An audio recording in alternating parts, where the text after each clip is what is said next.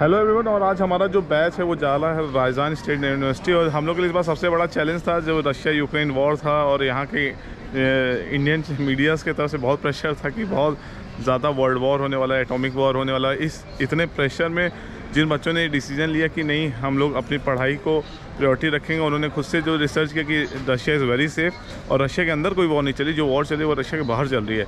तो जो बच्चे आज हमारे साथ जा रहे हैं, हम लोग भी आई एयरपोर्ट पे हैं, दिल्ली में, और यहाँ से हम लोग मॉस्को जा रहे हैं। मॉस्को से दो घंटे का सफ़र होगा, राजस्थान का वो सफ़र भी हम कवर करेंगे। तो चलिए हम एक एक करके बच्चों से मिलते हैं और उनका इंट्रो लेते हैं, कौन कहाँ से है।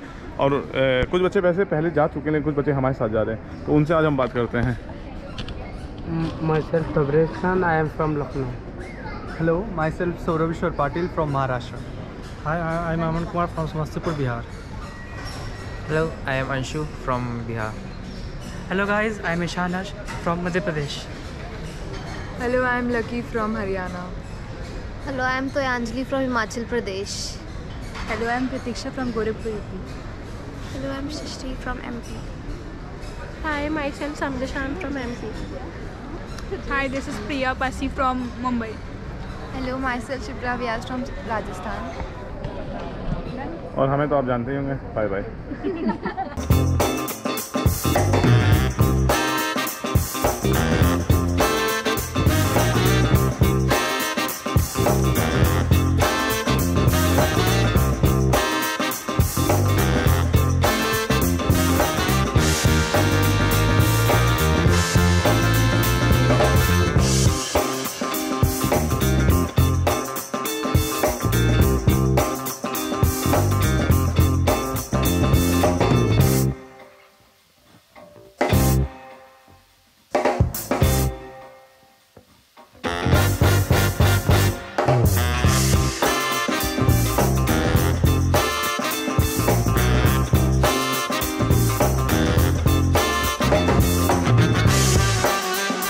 और ठंड बहुत है और हम लोग मॉस्को एयरपोर्ट पहुँच गए और ये सौरभ शूटिंग कर रहा था तो इसका भी उन्हें फ़ोटो दिखा दिया है।